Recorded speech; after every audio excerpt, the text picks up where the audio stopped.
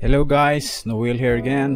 In this video, I'm gonna going over on understanding about inspection and test plan or ITP.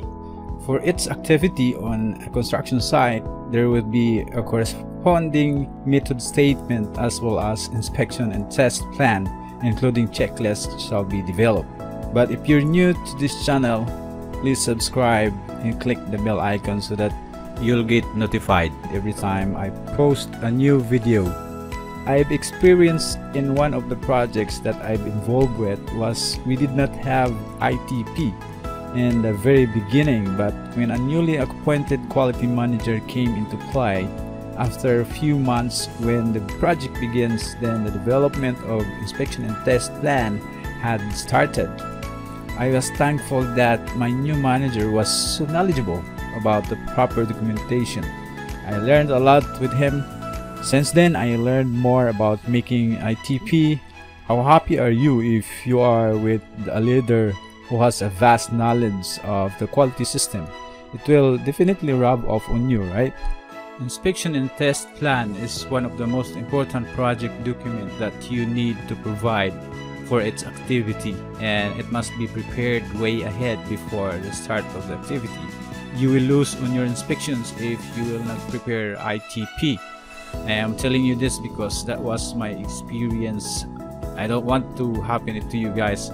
So without further ado, here is the explanation about inspection and test plan. But before moving on, I'm gonna give you the meaning of ITP. An inspection and test plan is the program of inspection, testing of materials, and survey shall be prepared and submitted by the contractor to the engineer for approval before usage and application to the site. And also the meaning of checklist. A list of items shall be noted or checked in a completed activity. It is always attached to the inspection request to be signed by concerned parties once the inspection is approved. Inspection and test plan is made and issued by the quality engineer it should then be reviewed by a quality manager, construction manager, and approved by project manager before it shall submit to the engineer or consultant as it is always required by the contract or specifications. Method statement and inspection and test plan including checklist shall be submitted to the engineer for approval.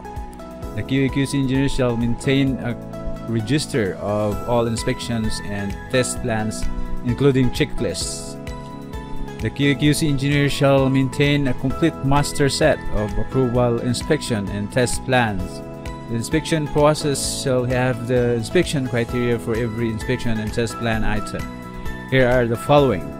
Surveillance stands for S in the inspection and test plan. Random attendance at site, no signature required on the inspection request or IR or its accompanying documentation. Execution stands for E. Attendance at the site is a must. The signature is always on inspection request and checklist. Witness or W. Attendance at the site is expected.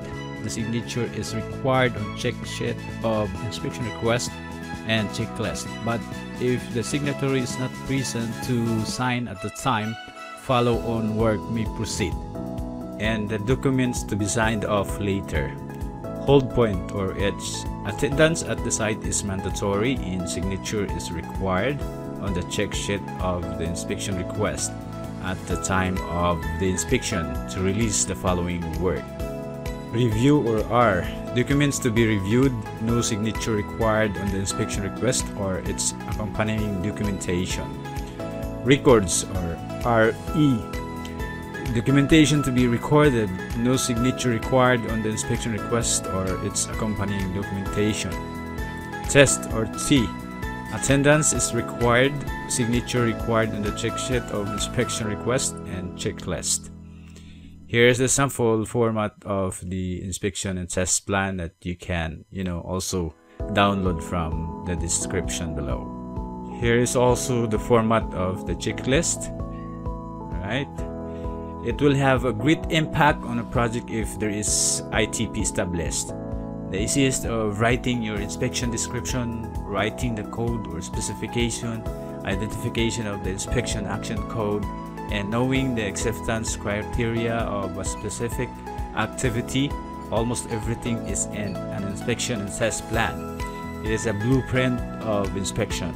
So start making it and surely you'll amaze on what will happen with your project.